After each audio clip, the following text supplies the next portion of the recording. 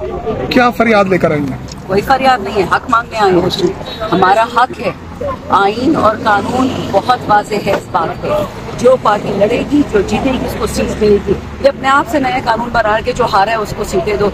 लेकिन ये तो होना था। जो 300 वोट लेके आया उसको पीएम बना दिया। जिसने एक वोट भी नहीं लिया, उसको प्रेसिडेंट बना दिया। जिसने सतारह वोट लिए, उसको सीएम बना दिया। ये तो मज़ाक बना दिया पाकिस्तान का। अवाम डजेंट मैटर चलो ठीक है। अवाम इज़ यूजलेस डजेंट मैटर हमसे टैक्स लेना छोड़ दें फ्री की नौकरियाँ करें तनख्वाहें मत लें, हम आपकी इबादत करें लेकिन ये तो नहीं हो सकता ना। कि पैसे हमारे मर्ज़ी है। मकसद क्या लेकर आई है वो बताएँ। एक मकसद है ठीक है आज़ाद पाकिस्तान।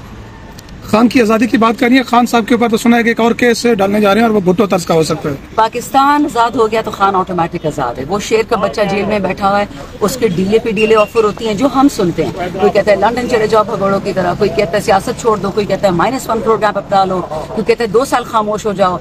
और यहाँ जेल बैठो कहते मैं जेल बैठता हूँ। उसके पास कमी क्या है? बच्चे पैसा नाम इज़्ज़त चला जाता है लंदन नहीं जाता। कुछ लोग कह रहे हैं कि पीटीआई में जो है डिवीज़न है, कुछ लोग कम्प्रोमाइज हैं।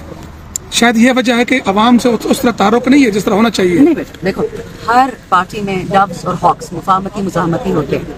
हमारा जो यंगर क्राउड है यंगिश यंगर तो नहीं कहूँगी वो चाहते हैं मुजाहमत के खान को फ़ौरन निकालो हमारे अवाम वाले कह रहे आपने वोट इसे लिया था कि खान को निकालना है। जब खान जेल में पड़ा है आप लोग क्यों डस्क बजा रहे हैं असेंबली में बात तो उनकी भी ठीक है। यही बात साहिबजादा हामिद रजा ने कितने महीने पहले कही थी कि अगर हम खान को जेल से निकालने में नाकामयाब है तो हम पाँच साल असेंबली असेंबली कमेटी कमेटी खेलेंगे नॉट पॉसिबल मैडम जो पीछे इमारत है इस पर आप हक अपना लेने आए हैं तो क्या उम्मीद है हक मिल जाएगा? इमारत से कोई उम्मीद नहीं अपने रब से उम्मीद है।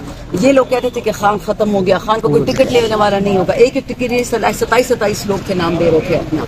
आठ फरवरी को कौन निकलेगा? पूरा पाकिस्तान निकला अल्हम्दुलिल्लाह। वो लोग जो मेरे वोटर्स नहीं भी थे उन्हीं को भी मुझे वोट पड़ा है। फिर नौ फरवरी को उन्होंने पुरानी चीटिंग कर ली बट डजन मैटर देखिए। ईमान और सजदा सिर्फ़ रब है। मैडम ये बताएँ शरियार अफरीदी का मामला सामने आपने कहा कि अगर वो इस्तीफा देते हैं तो आप भी इस्तीफा देंगी। तो अभी तक क्या पेशरफ है उस हवाले से? क्या उन्हें राज़ी कर लिया गया है या क्या हुआ अभी तक? और क्या उस्मान डार- हैं उनके? शरियार उस्मान डार रेहाना डार उमर डार इन सब के साथ बहुत तकलीफें हुई हैं, ठीक है? इनकी फैमिलीज़ पे भी हुई मेरी अदालत साहब भी मेरे साथ खड़ी हैं। इनके हस्बैंड को अब्डक्ट कर लिया था। बहुत कुछ हुआ हमारे लोगों के साथ। फिर भी खान साहब के साथ खड़े डॉक्टर नौशीन हामिद रुखसाना बीबी मेरे साथ खड़ी हैं। ये सारी हमारी एम हैं जो आपका दरिया तैर कर गया ठीक है? शरियार ऑफ़ them अब जब पार्टी में कुछ होगा, क्योंकि वो कोर कमेटी का हिस्सा है, मैं नहीं हूँ, और उसको उससे डिसएग्रीमेंट होगा, वो तो बोलेगा। हम तो उस प्राइम मिनिस्टर की पैदावार हैं कि जब असद उमर को एज फाइनेंस मिनिस्टर खान साहब ने हटाया था हम खान साहब से लड़े हमें हक है बोलने का, हम डेमोक्रेसी हैं। हम इन रूसी खानदानों की तरह नहीं है कि हम जूते पॉलिश करें। हमें हक है बोलने का डिसग्री करने का, अगर हम खान से कर सकते हैं तो कोर कमेटी और पोलिटिकल कमेटी के साथ क्यों नहीं कर सकते? जहाँ तक इस्तीफे की बात है, वो तो मैं शरियात को प्रेशराइज करेगी कि अगर तुमने रिजाइन किया, मैं तुम्हारी सकी मुँह बोली हूँ तुम जाओगे मैं भी जाऊँगी। इतने में शहरियार को वो शेर अफजल मरवत कूद पड़े कि मैं भी जाता हूँ। उमर डार आ गया रेहाना डार आई सबने उनको डराया। And at the same time इतने सारे अब वो आए क्या नाम है इनका हमें बढ़ा रहे हैं? हाँ, हाँ, नहीं। नहीं वो का ये तो बेचारे को गुलाम है?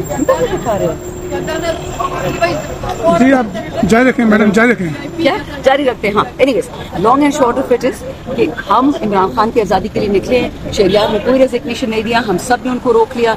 शरियार ने नई रेजिग्नेशन दी हमने उसको बचा लिया क्योंकि वो जज्बाती हो रहा था।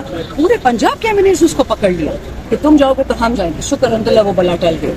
ठीक क्या थे आई हैव नो आइडिया बच्चे। I am not part of core committee ये गाड़ियाँ आ चुकी हैं लगता है आप लोगों के इस्तेमाल में यहाँ से कोई वो वीआईपी प्रोटोकॉल गुजरना है कोई- अच्छा कोई फौजी शौजी गुजरना है? नहीं नहीं फौजी नहीं बाहर का कोई डेलीगेशन अच्छा मैडम ये फ- बताएँ कि इस ऐवान में आप लोग इमरान खान की रिहाई के ऊपर बात करें शहर- शहरियार अफरीदी अपने दुखड़े सुनाए अपने गम सुनाए। बहुत सारे लोग जैसे आप करें कि आग का दरिया अबूर करके गुजरे हैं। तो इस वक्त इस तरह का इम्प्रेशन देना इम्प्रेशन देना नहीं, नहीं, कि जैसे। आपके साथ बहुत बड़ा जुल्म हुआ है और जुल्म तो। कुछ जुल्म तो हुआ है। जो औरतों के साथ हुआ है बेगुनाह गैर सियासी औरतों के साथ इसमें तो कोई शक नहीं है ठीक है? लेकिन मुझे आप ये बात बताएँ कि आप मेरी माँ को मेरी बहन को इनको इनकी बहुओं को इनकी बेटियों को इनका खावन को उठाएँगे? हम बात भी नहीं करेंगे आप चुप कर जाए खान साहब तो जेल में बैठा हुआ तो कंप्लेन कर नहीं सकता। वो कंप्लेन करने वाला है भी नहीं। कल एक खातून ने जरा ऑब्जेक्शन किया कि असद कैसर ने खातन की चूड़ियों की बात की असद कैसर ने सिर्फ़ ये बोला कि अगर मेरे सूबे पे फिर दहशत गर्दों ने अटैक किया तो हमने भी चूड़ियाँ नहीं पहनी। तो उस पर नाराज़ होगी विमेन कार्ड खेलने लगी। मैंने जवाब दिया कि आपने तो चूड़ियाँ उतारने की बात की हमारे तो दुपट्टे उतारे हमारी औरतों के कपड़े उतारे हैं उसका कौन अजाला करेगा?